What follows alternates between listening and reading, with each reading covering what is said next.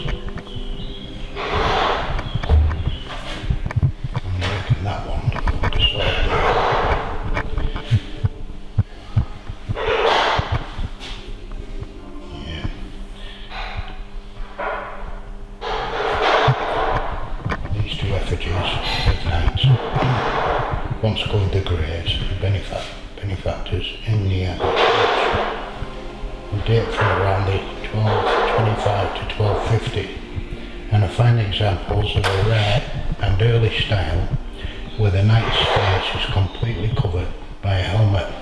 The sword pommel of the larger effigy shows that the influence of the Viking swords of the 9th and 10th century still lingered in this conservative region.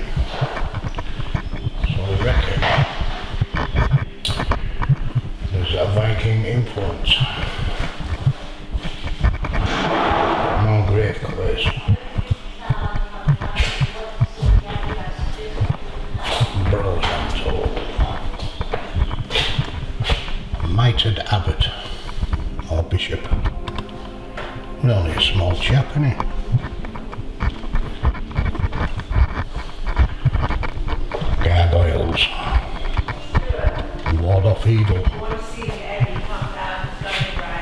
Abbots of Furness.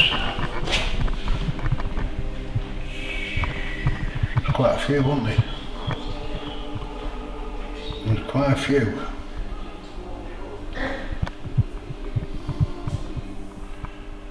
Yeah, quite local some of them as well. John of Bob, John of Dalton, William of Dalton. Denton, Ulverston, Dalton, Millom. Yeah, they're quite uh, quite close to us. Well, I live in can't get any closer than that. Yeah, that's uh, anyway. That's Piel Castle over there. So we're on about bit in a part of it.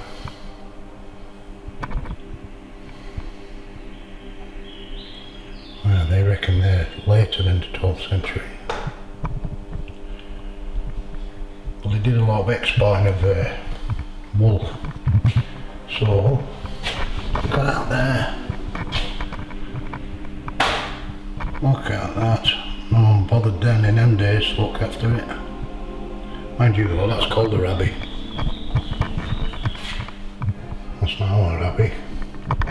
Ince Abbey, Comroe Abbey. Got a bigger abbey.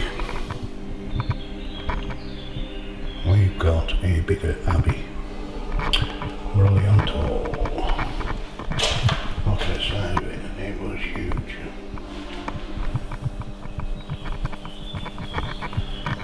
Yeah.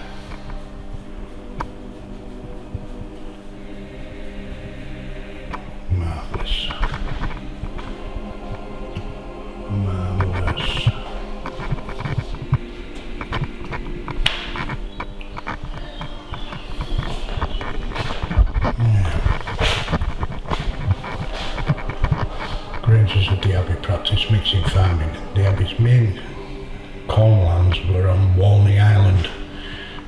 To remember that.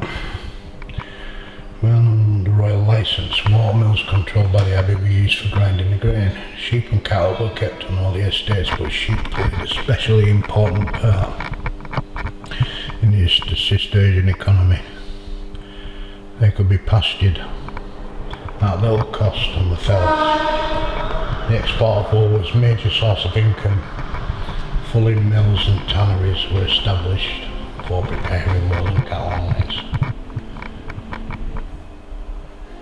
Yeah. Fantastic. So, there you have it folks. That's it. That is it. Amazing. Right, I better get back and get this edited now then. See you later folks. Right, I'm outside the visitor centre now, and believe it or not, it just never ends. We're outside the visitor centre, outside the Abbey fencing, and there's some more Abbey ruins here. They've got reason to believe that this could have been an Abbey farm at one point, which is now a hotel, but they're not too sure. There's another gateway into the Abbey, and here just round this corner It's, it's an amazing place, it just is, it just never ends. And it should be finding all sorts, and we're not. But here is the old abbey, another chapel.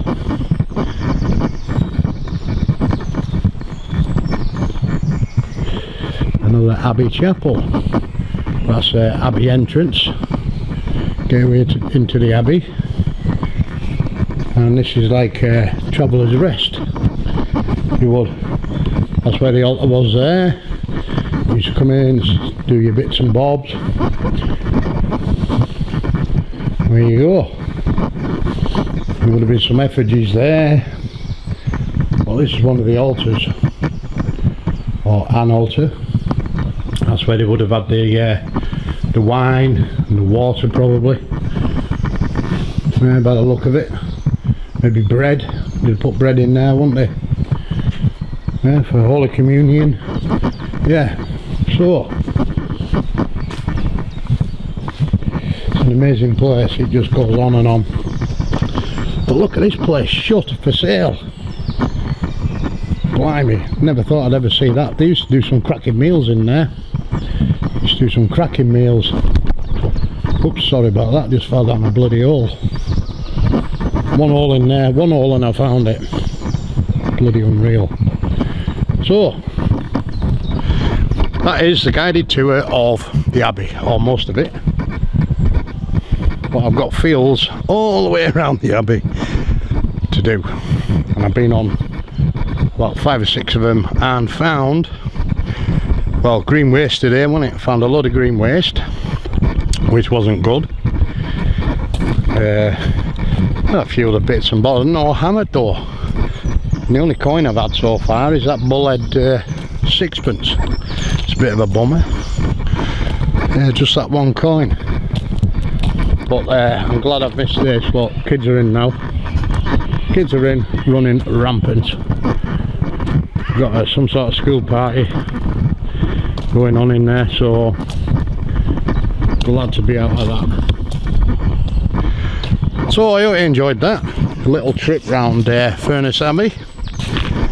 But like I say, if you ever come down to Furness, get yourself here.